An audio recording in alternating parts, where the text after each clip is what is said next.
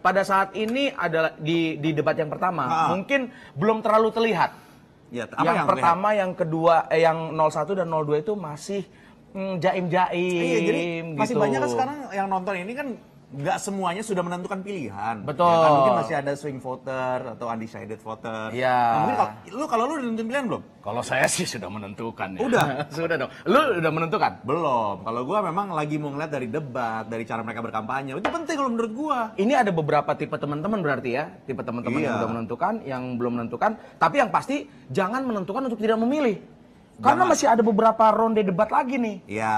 Lihat dulu di kedua ini kira-kira eh, lu udah sampai ke tahap yang mana kepastiannya terhadap satu atau dua nih? betul. Gitu. Karena kalau menurut gua, jadi kalau menurut Ibob kan dia udah udah milih dari awal. Ah, ah. Kalau menurut gua memilihlah pada saat informasi itu udah cukup.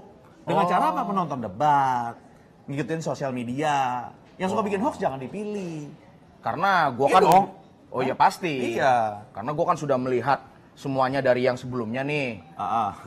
Ternyata sudah berjalan dengan baik. Bapak langsung ketahuan dong milihnya kayak gitu.